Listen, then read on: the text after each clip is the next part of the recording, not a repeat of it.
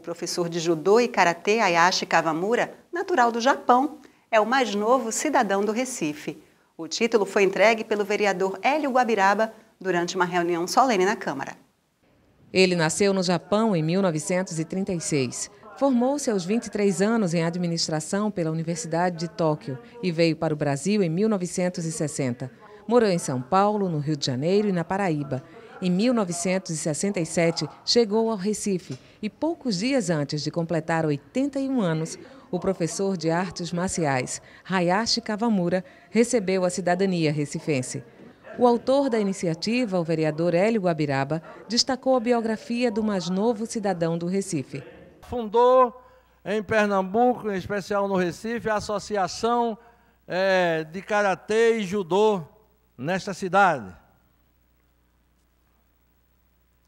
E naquele momento, Cavamura era conhecido aqui no Recife, que não existia o consulado japonês no Recife, como o maior amigo do povo japonês nessa cidade, nesse estado do Brasil. A casa dele serviria naquele momento de abrigo para as pessoas que sairiam do Japão e queria fazer carreira no nosso estado e aqui no Recife. E ele recebia de portas abertas, com muito amor e com muito carinho, todas aquelas pessoas que vinham do Japão para fazer vida aqui no Recife. O vereador lembrou a carreira do professor Cavamura na Academia de Polícia Militar de Pernambuco. Cavamura, em 1967,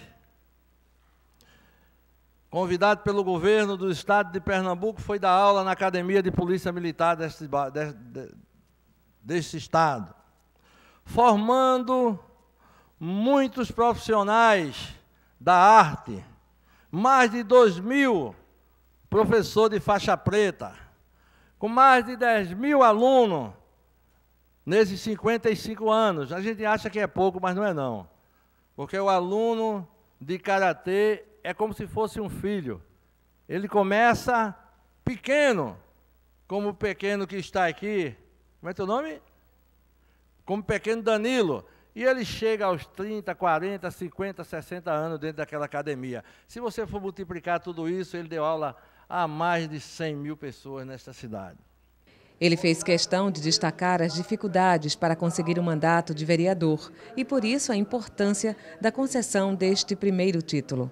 A gente começou a fazer uma observação é, sobre o título de cidadão do Recife. A quem a gente daria o nosso primeiro título de cidadão do Recife? E eu conheci Cavamura logo no começo da minha adolescência, 16, 17, 18 anos, que Valdivino, um professor de karatê que tem na Guabiraba, que hoje ele é oitavo dan, né, Raimundo? É, que já começou a dar aula naquele período, a Raimundo, a Neninho Costa, e a outras pessoas, inclusive a mim, que desisti, né? não cheguei a ser nem faixa amarela, é, está explicado por causa da barriga, você quer dizer, né? É, mas eu já me interessava pelo esporte, pela arte, né? E naquele momento eu começava a entender o que era a história de Cavamura no Recife. E de lá para cá, a chegar nesta casa, a gente fez uma, uma grande varredura na cidade do Recife. Nosso primeiro título. A quem, dará, a quem vamos dar esse primeiro título? Não poderia deixar nunca de estar aqui hoje, aos sete meses de mandato, sete meses, vai fazer oito de mandato, aqui nesta casa, em prestar esta homenagem ao mestre Cavamura, que hoje, com 81 anos de idade, ainda dá aula na sua academia ali na Rua do Sossego. E são essas coisas que fez com que o nosso gabinete, é, de imediato, propusesse esta casa, esta homenagem. Merecidamente, essa história que começa aqui hoje, ela poderia ir muito mais além. Tem muita gente nessa cidade do Recife e no estado de Pernambuco que trabalha em pró das pessoas que querem mudar de vida, que querem fazer algo diferente dessa cidade. Mas a história de Cavamura chamou muita atenção. Aos 81 anos, já há 81 anos, já faz com que as pessoas que hoje passaram ali naquela academia é, viesse aqui hoje prestar seu testemunho, como eu falei com alguns aí fora, e dizendo: esse mestre merece mais do que essa homenagem, por tudo que ele fez aqui na cidade do Recife. O professor Hayashi Kawamura recebeu o título de cidadão do Recife do vereador Hélio Guabiraba. A filha dele, Sui Kawamura, foi presenteada com ramalhete de flores pela esposa do parlamentar.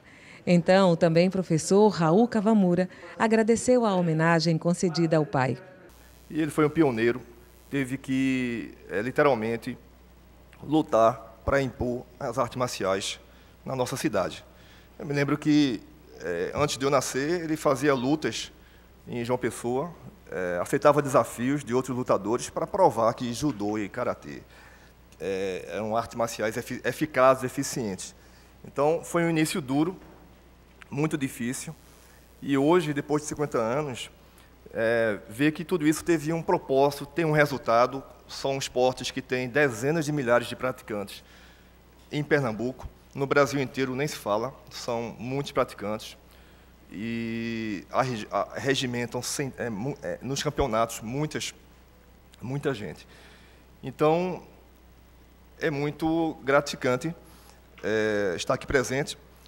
Encerro aqui a minha fala, porque o, o vereador Hélio já, já disse tudo, já fez, fez um resumo muito, muito completo sobre a trajetória do meu pai. Agradecer a todos mais uma vez. Obrigado. Os convidados acompanharam a apresentação de karatê dos alunos da Academia Kawamura. Oh! Oh!